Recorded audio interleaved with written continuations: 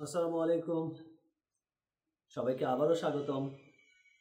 আবারও চলে এসেছি ক্লাসরুমে সো আমরা আজকে খুবই গুরুত্বপূর্ণ একটা টপিক নিয়ে আলোচনা করব। এই টপিকটা শুধু আসলে এইচএসসিতে যে কাজে লাগে তা না এইচএসসির পাশাপাশি ঢাকা ইউনিভার্সিটি অ্যাডমিশন টেস্টে দেন হলো বিবিএতে ইভেন এমবিএ পর্যন্ত এই টপিকটা আমাদের কাজে লাগে। সেটা হলো মূলধন বাজেটিং বা ক্যাপিটাল বাজেটিং সো আমরা আজকে এটা নিয়ে একটু আলোচনা করব। এই আলোচনাটার আলোচনাটার মাধ্যমে এইচএসসি পরীক্ষার্থী থেকে শুরু করে এমবিএ পর্যন্ত যে কোনো স্টুডেন্ট এটা কভার করতে পারবেন। সো ফার্স্টে আমরা দেখি মূলধন বাজেটিংটা কি।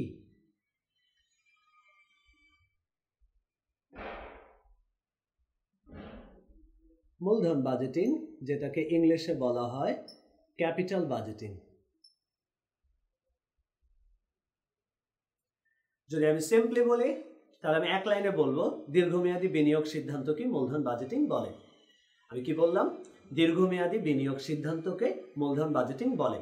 অর্থাৎ লং টার্মে আমি কোনো একটা সম্পত্তি কিনতে যাচ্ছি, অথবা লং টার্মে আমি কোনো একটা জায়গায় বিনিয়োগ করতে যাচ্ছি, সেখানে আমি বিনিয়োগ করব কি করব না সেই সম্পত্তিটা কিনবো কি কিনবো না, এই সংক্রান্ত সিদ্ধান্তকে আসলে বলা হয় মূলধন বাজেটিং তাহলে আমি আরেকবার বলছি, দীর্ঘমেয়াদী বিনিয়োগ সিদ্ধান্তকে মূলধন বাজেটিং বলে। যদি আমি ইংলিশে বলতে যাই, তাহলে আমি জাস্ট একটা কথাই বলব লং টার্ম ইনভেস্টমেন্ট ডিসিশন কি বললাম? Long term investment decision is known as capital budgeting so মূলধন বাজেটিং নিয়ে আলোচনা করতে গেলে আমাদের মূলধন বাজেটিং এর বেশ কিছু পদ্ধতি আছে। যে পদ্ধতিগুলোর মাধ্যমে আসলে সিদ্ধান্ত নিতে হয় যে আমি এই প্রকল্পে বিনিয়োগ করব, কি করব না, অথবা এই সম্পত্তিটা আমি কিনবো, কি কিনবো না। এই রিলেটেড আলোচনা।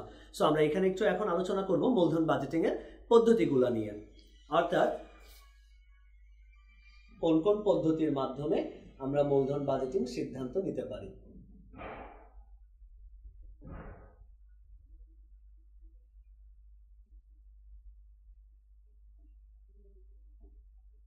পদ্ধতিগুলোকে আমরা ইংলিশে বলতে পারি techniques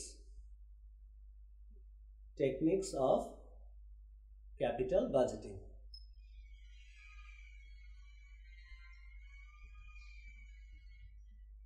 মূলধন বাজেটিং এর মেইনলি আমাদের চারটা পদ্ধতি আছে।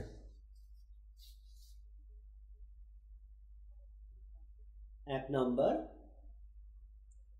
এআরআর যেটাকে বাংলায় বলা হয় গড় আয়ের হার। দুই নাম্বার পিবিপি বা ফুল ফর্মে বলা হয় পে ব্যাক পিরিয়ড বাংলায় বলা হয়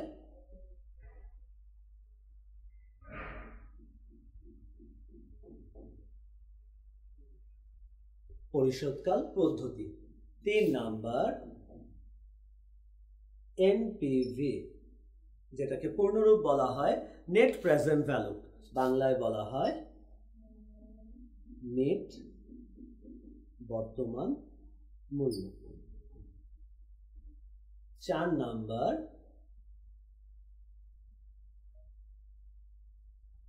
আইআরআর ফুল ফর্ম বলা হয় ইন্টারনাল রেট অফ রিটার্ন। বাংলায় বলা হয়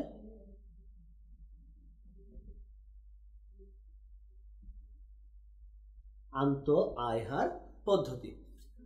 তাহলে আমরা আবার একটু শুরু থেকে রিকল করি। মূলধন বাজেটিং মানে হলো দীর্ঘমেয়াদী বিনিয়োগ সিদ্ধান্ত। ইংলিশে বললে আমরা কি বলব? Long term investment decision is known as capital budgeting so এখানে আমাদের মূলধন বাজেটিং এর চারটা পদ্ধতি আছে, অর্থাৎ four techniques of capital budgeting such as ARR average rate of return বা গড় আয়ের হার পিবিপি পেব্যাক পিরিয়ড বা পরিশোধকাল পদ্ধতি এনপিভি নেট প্রেজেন্ট ভ্যালু বা নিট বর্তমান মূল্য IRR internal rate of return বা আন্ত আয়ের হার। এইখানে আমরা মেথডগুলো নিয়ে আলোচনা করার আগে আমাদের বেসিক কিছু জিনিস জানতে হবে, যার মধ্যে এআরআরটাকে বলা হয় সরি এআরআর এবং পে ব্যাক এই দুইটাকে একসাথে বলা হয় অবাট্টাকৃত পদ্ধতি।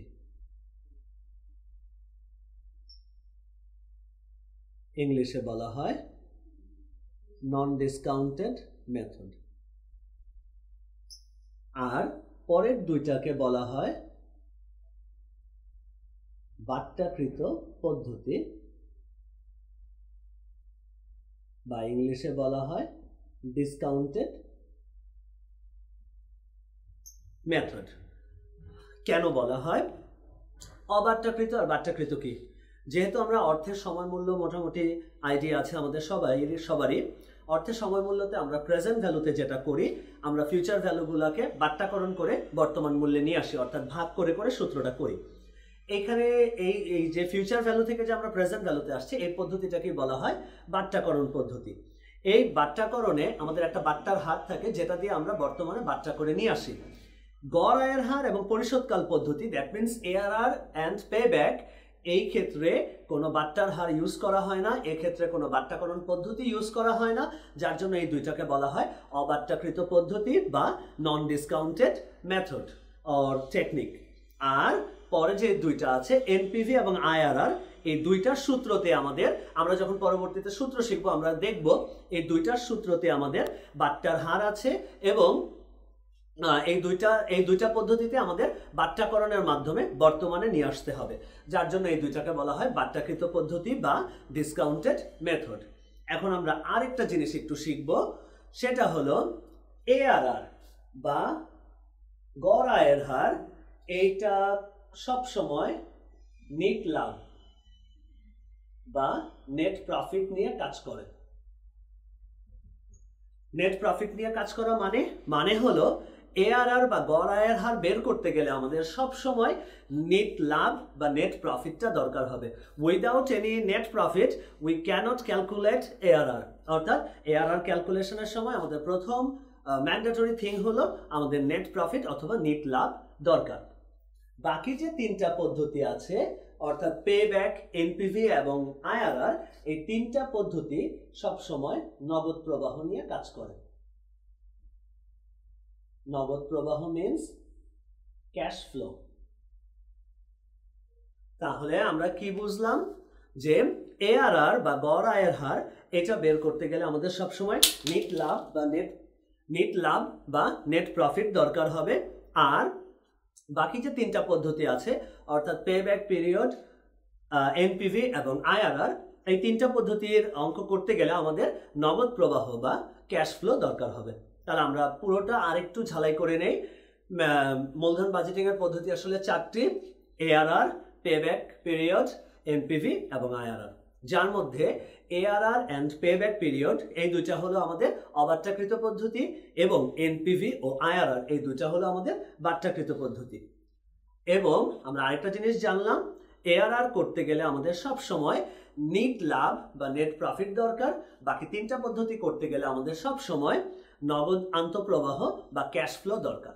তবে এখানে একটা জিনিস আমরা উজ্জ্ব রেখেছি বাই ডিফল্ট এটা মাথায় রাখতে হবে নেট প্রফিট বলতে কোনটা? কর পূর্ব না কর পরবর্তী? অবশ্যই আমরা এখানে যত ক্যালকুলেশন করব, সবকিছুই কর পরবর্তী নিয়ে আই মিন কর পরবর্তীকে কনসিডার করে আমরা আসলে সমস্ত ক্যালকুলেশনগুলো করব। তাহলে নেট লাভ মানে হলো কর পরবর্তী নেট লাভ নেট লাভ বা ইংলিশে যদি বলা হয় আফটার ট্যাক্স নেট প্রফিট আর নগদ প্রবাহের ক্ষেত্রে আমরা কি বলব?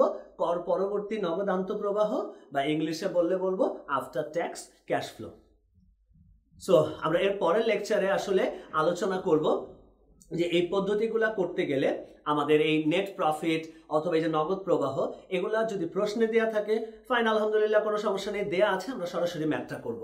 বাট যদি এগুলো প্রশ্নে দেওয়া না থাকে, তাহলে আমরা কীভাবে বের করব?